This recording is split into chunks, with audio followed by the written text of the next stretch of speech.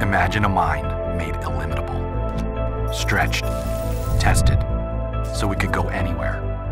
Now inject a dose of unafraid, unafraid of a good experiment, unafraid to fail, yet never fail when it comes to honor and integrity, which is why we are who's, which is why we carry on in every endeavor, every challenge, always in the name of tomorrow. This is our tradition. This is our endless pursuit.